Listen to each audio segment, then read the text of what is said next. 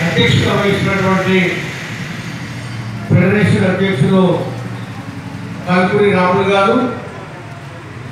అదేవిధంగా ఈ దీక్షలో కూర్చున్నటువంటి యువజన విభాగం నాయకులు ఫెడరేషన్ నాయకులు ఈ కార్యక్రమానికి విచ్చేసినటువంటి ఫెడరేషన్ కుటుంబ సభ్యులు అంతేకాకుండా ఏ ఏఐఎస్ఎఫ్ స్టేట్ సెక్రటరీ పుట్ట లక్ష్మణ్ గారు భారతీయ చేసి తరపు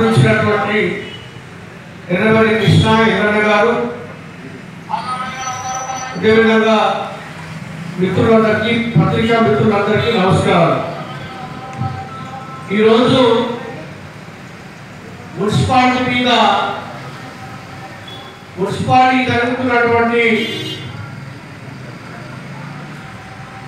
ఏదైతే ఉన్నాయో అక్రమ నిర్మాణం వల్ల పెద్ద ఎత్తున ఆదాయం కోల్పోతా ఉంది. ఆదాయం కోల్పోతే అభివృద్ధి సాధ్యపడదు.